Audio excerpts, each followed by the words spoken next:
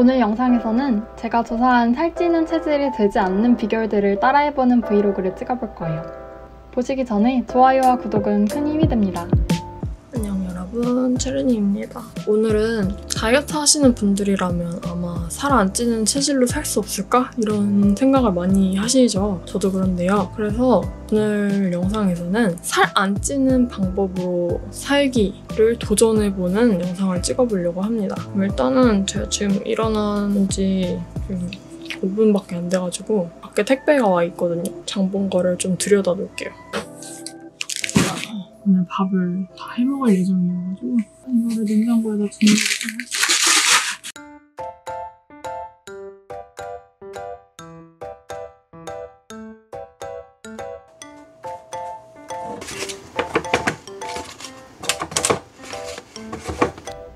살찌는 체질이 되지 않는 첫 번째 비결은 아침에 마시는 물 한 잔, 그리고 유산균을 챙겨 먹는 것입니다. 두 번째 비결은 수시로 물을 마셔주는 거예요. 자는 동안 부족해진 수분을 채워줍니다. 살이 안 찌는 비결은 평상시에 기초 대사량을 높여서 운동을 하는 거예요. 운동을 갔다 오도록 하겠습니다. 원래는 헬스장 가서 운동하려고 했는데 왠지 헬스장 가기 싫고 밖에서 운동하고 싶어서 집 근처에 있는 공원에 왔어요. 날씨가 너무 괜찮다. 이 아침에 새 지저귀는 소리랑 뭔가 촉촉하게 이슬 맺힌 느낌? 아침에만 볼 수 있는 그런 느낌이 너무 좋아요.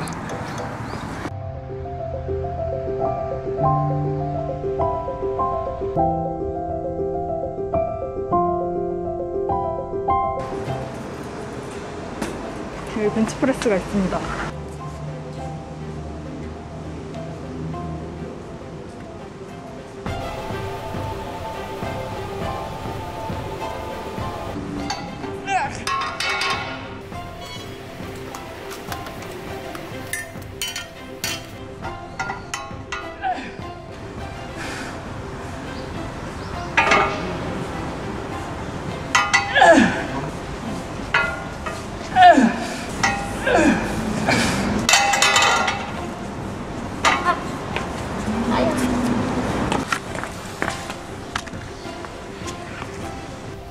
저는 원래 팔굽혀펴기를 하나도 못했는데요.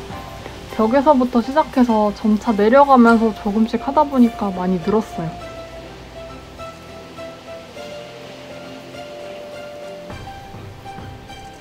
여러분은 운동할 때 꼭 듣는 노래가 있으신가요?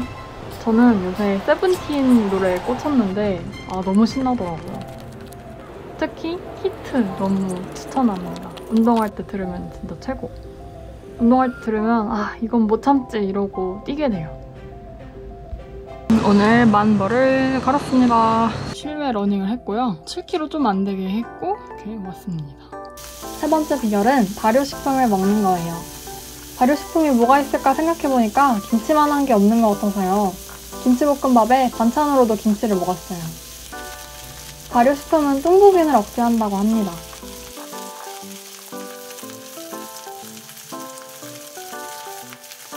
김치 볶음밥에다가 김치를 반찬으로 먹을 거야. 요 김치걸. 야스.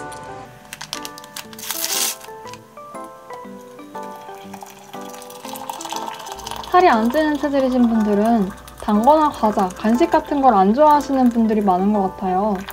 정 끊을 수 없다면 다이어트 간식으로 대체해주는 것도 좋겠죠? 그래서 간식을 사랑하는 저도 오늘은 간식 패스하고 대신 차를 마셨습니다.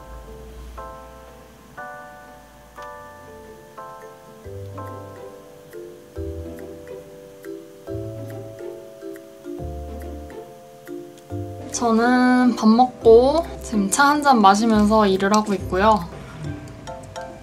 아 뜨거! 혀 튀었다. 아마 여기까지 보신 분들이라면 한 가지 의문이 남으실 거예요. 입이 짧아서 아니면 양이 적어서 그냥 음식 자체를 적게 먹는 사람이나 아니면 많이 먹긴 하지만 운동을 진짜 많이 하고 신진대사가 좋아서 생활 속에서 에너지를 많이 쓰는 사람들은 살이 안 찌는 게 이해가 돼요. 적게 먹거나 운동을 많이 하거나 둘 중에 하나니까요. 근데 어, 저 사람은 나보다는 훨씬 많이 먹는 것 같은데 이상하게 살이 안 찐다 하는 사람들 있죠. 예를 들면 먹방 유튜버 같은 분들. 저도 먹방 좋아해서 자주 보는 분들이 몇 명 계시거든요. 근데 그런 분들이 답변해 주시는 걸 잘 들어보면 방송에서만 먹지 평소에 잘 안 먹는다. 아니면 몸 관리를 위해서 운동을 평소에 진짜 많이 한다. 이렇게 말씀하시는 분들도 계신데 대부분은 유전적으로 타고났거나 아니면 그냥 체질적으로 살이 안 찌는 분들도 많은 것 같아요. 아니면 먹으면 먹는 족족 화장실로 다 내보내는 그런 장을 가지고 계신 거죠. 그렇다면 저도 이제 그런 장으로 한번 개선해 보도록 하겠습니다. 어떻게 했냐고요? 바로 유산균을 챙겨 먹는 거죠. 장내에 유익균의 증식을 돕고 유해균의 비중을 줄여주는 제품을 찾아서 먹을 수 있겠죠? 그러면 여기서 여러분들이 물어보실 거란 말이에요. 그러면 시중에 나와 있는 유산균 제품들이 많은데 뭘 먹어야 돼요? 좋은 유산균 어떻게 골라야 돼요? 제품 추천해주세요. 그렇게 물어보실 거죠? 제가 여러분들한테 추천드리는 제품을 아무거나 가지고 올 순 없잖아요. 그래서 꼼꼼하게 골라왔습니다. BNR 17 다이어트 유산균 비에날씬인데요. 네, 맞아요. 광고 제품으로 보여드리게 되었지만 진짜 제가 찐으로 정말 잘 챙겨 먹고 있는 제품입니다. 이 제품은 제가 예전에 다른 브이로그 영상에서도 보여드렸었어요. 그때도 morning routine 중 하나가 유산균 챙겨 먹는 거라고 이 제품 먹는 거 보여드렸었는데 유산균은 최소 3개월은 장기 복용해야 된다고 하더라고요. 그래서 그 이후로도 계속 꾸준히 챙겨 먹고 있었습니다. 이 비에날씬은 2020 아시아 영양 건강기능 원료 대회에서 올해의 프로바이오틱스 제품 1등상을 수상한 국내 최초 다이어트 유산균 제품이에요. 제가 왜 꼼꼼하게 골랐다고 하는지 아시겠죠? 우리의 이 대장은 아주 규칙적으로 행동하는 거를 좋아하는 장기라고 해요. 그래서 유산균도 같은 시간대에 계속 꾸준히 먹어주는 게 좋다고 해서 제품에 정해진 용법대로 하루에 두 캡슐씩 시간을 정해놓고 아침, 저녁에 먹어주고 있습니다. 제가 BNRC를 고른 또 하나의 이유는 바로 체지방 감소에 도움을 줄 수 있기 때문인데요. 락토바실러스 가세리 BNR17은 체중과 허리둘레 감소에 도움을 줄 수 있다는 인체 적용 시험 결과가 있다고 해요. 이렇게 체지방 감소에 도움을 줄 수 있는 비에날씬은 BNR17 유산균이 1일 섭취량 기준 100억 마리 보장된다고 합니다. 이 밖에도 우리 몸에 좋은 유산균을 많이 만들어주려면 식이섬유가 많은 과일, 채소 위주의 식단을 먹는 게 좋다고 해요. 이런 식단에는 프리바이오틱스가 많이 들어있기 때문인데요. 사실 다이어트에 식이섬유가 좋다는 건 다들 알고 계시잖아요. 저는 이게 단지 칼로리가 낮고 포만감이 높아서라고만 생각했는데 식이섬유가 살이 잘 빠지는 유산균총을 좋게 바꿔주기 때문에 더 살이 잘 빠진다는 거예요. 그러니까 그냥 칼로리만 맞춰서 먹으면 되는 거 아닌가? 라면 먹거나 뭐 채 샐러드 먹거나 그게 그거 아닌가? 이런 생각은 1차원적이었던 거죠. 아무튼 이거 먹고 이게 냉장 보관하는 거라 찬물로 먹는 게 더 좋다고 하더라고요. 그래서 찬물이랑 짠, 제 책상이에요. 전 지금도 이렇게 하고 일을 하고 있고요. 프리미어로 편집을 한답니다. 이제 일을 하도록 하겠습니다.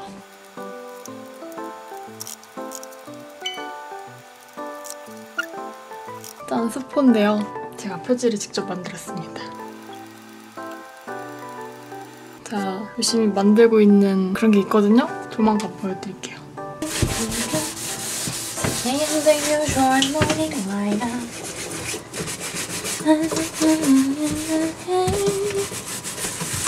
Where will my life begin?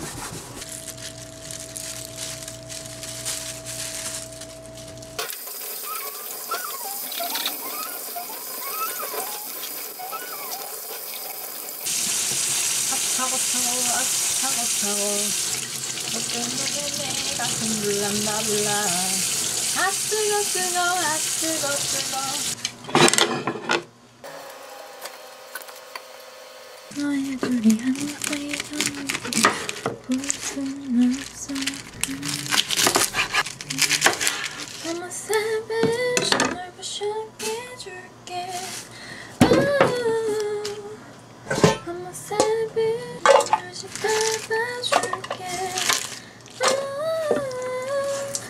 이거 한 3등분만 해도 되겠다. 응. 이거를. 오케이 가릿 가릿. 위공강으로 끼면 미쳐가면 이간질 엄마 아 이로부터 멀어지게 만들 패심천 니트릭 위공강으로 끼면 아이고. 나름대로 예쁘게 하려고 노력을 하고 있는데 몰라. 어차피 입에 들어가면 똑같아 똑같아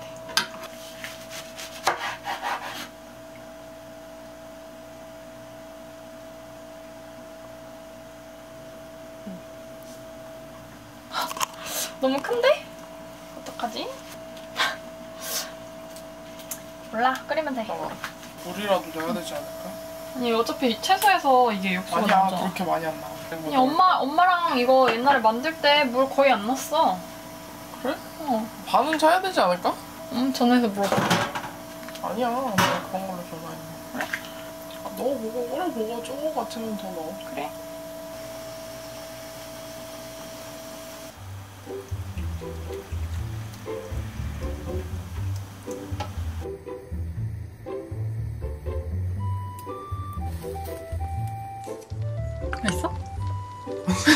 아. 살이 안 찌는 체질이신 분들은 음식을 빨리 드시지 않는 분들이 많은 것 같아요. 천천히 음미하면서 먹어서 과식하지 않고요. 저는 먹을 때 영상 같은 걸 틀어놓고 먹는 습관이 있는데 그래서 더 급하게 먹게 되는 것 같아서 이런 습관을 고치려고 노력했어요. 너무 뜨거워. 진짜 겨울 메뉴다. 음. 아, 발효식품의 아, 끝판왕 후식으로 요즘 그릭 요거트 먹을 거에 요즘 그릭 요거트. 이게 녹차 맛이 있더라고요. 새로 나와가지고. 어 녹차 맛. 새로 나와가지고 처음 봐가지고 신기해서 좀 시켜봤어요. 약간 아이스크림 같아